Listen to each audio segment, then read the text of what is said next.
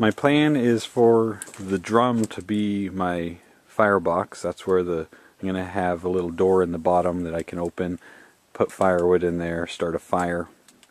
And then what I'm going to do is I'm going to cut a hole in the top of here that's the same size as this tank.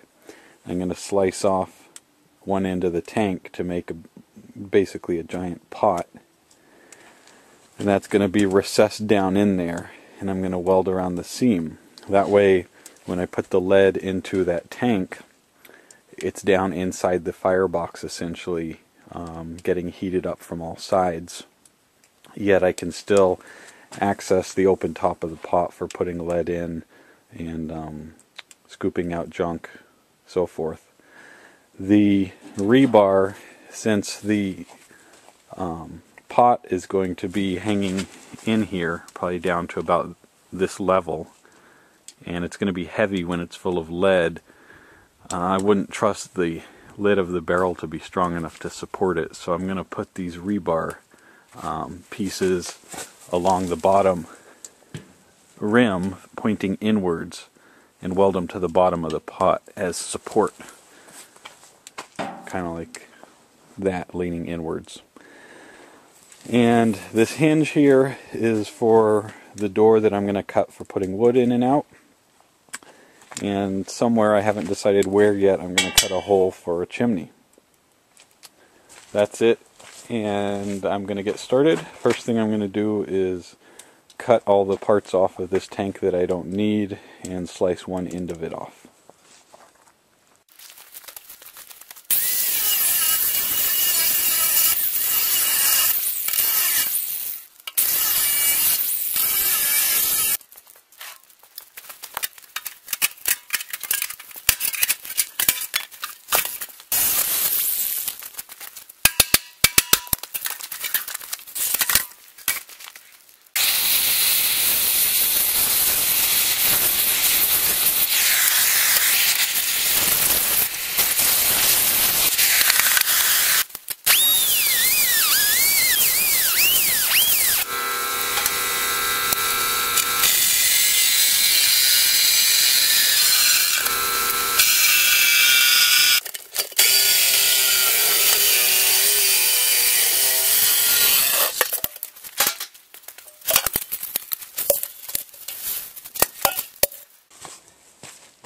Trace an outline on the top of the barrel to cut the hole where this is going to be recessed down in.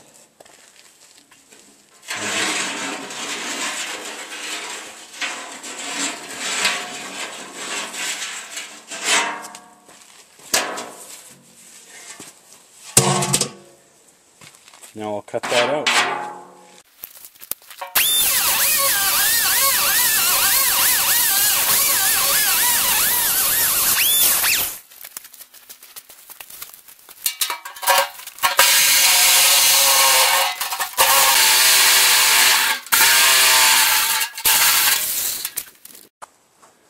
Do a test fit.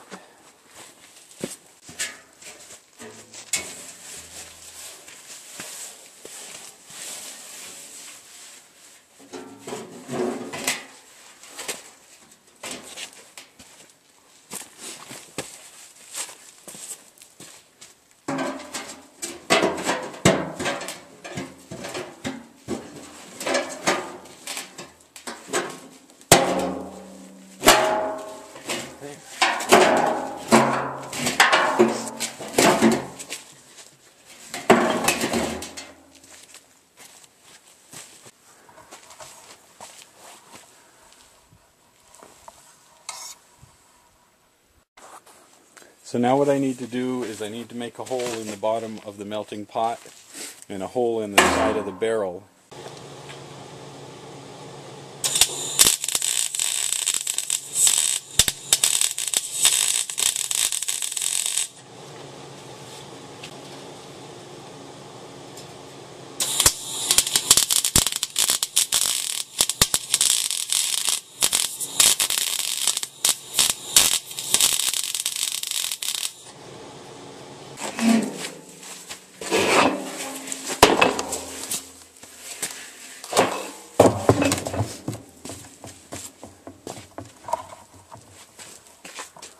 So there's what we got so far.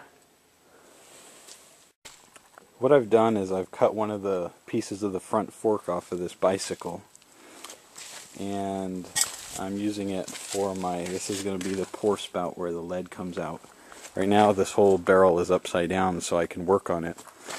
But I've cut a hole in the side of it so that the spout can come out and then in the bottom of the tank I've sliced a hole for the lead to drain out and I'm going to weld that right on there. What I've got here is I've welded in my three pieces of rebar to support the weight of the container and I bent each one. I just stuck it in a vise and bent it with a breaker bar and welded it to the bottom of the container. That's where I welded that piece of bicycle fork. That's going to be my lead output, my drain spout. And everything's been welded together. So now I need to cut a door to put wood in through and flip it over and weld the top. So now I've cut the door for where the wood is going to go in. Uh, I've cut most around most of it here, but I didn't cut the corners so that it'll stay in there because I'm going to weld a hinge right there. Um, the door is going to fold up. And then I'm going to weld this piece of metal right there to the door so that the door doesn't swing too far closed and go in and it's got some little holes in it so I can rig things up if I need to um, do things to hold the door open or other things later. I've got these parts welded in place, the hinge and the little latch thing. So now I'm going to finish cutting the corners of the door.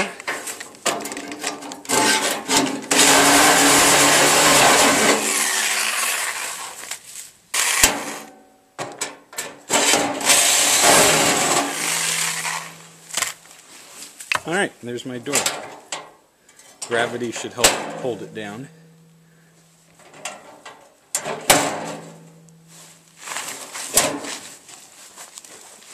Now I'm going to flip the unit back up and uh, start welding the top.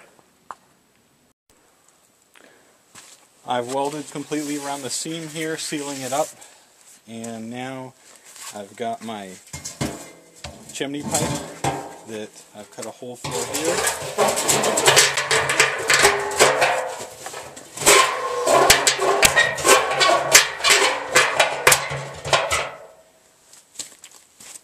So now I'm going to weld that in place. Okay, I've got my chimney pipe welded into place. I never claimed to be a great welder, but I think I got everything sealed up pretty good.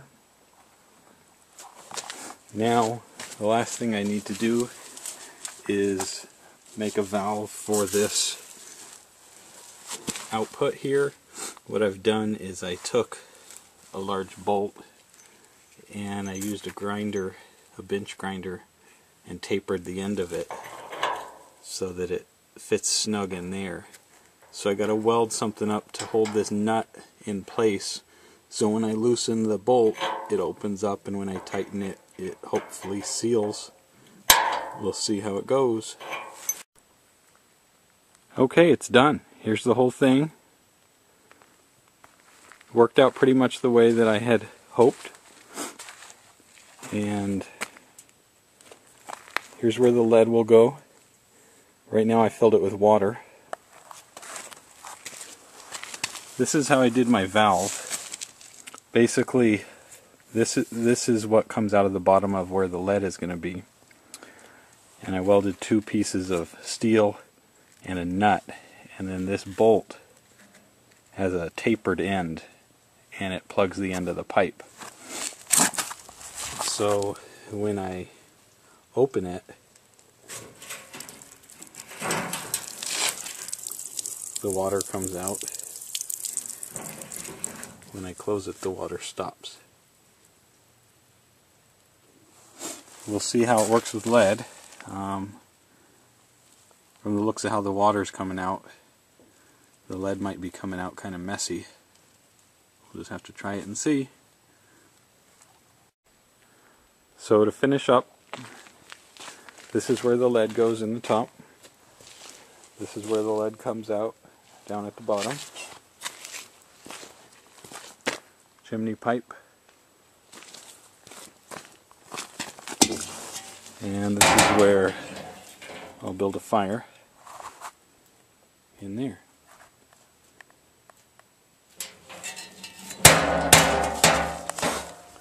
I have the other half of the, or the end of the air compressor tank that I cut off. So I figured potentially it could sit up there to help help hold heat in. And maybe I could put wheel weights in here to pre-warm them or um, dry dry them out, make sure they're dry, whatever needs to be done. Here we are doing a test run with water.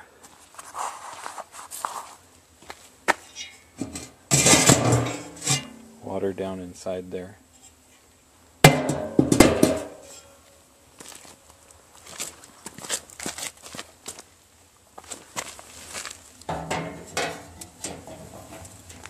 Got a fire going. Just started it.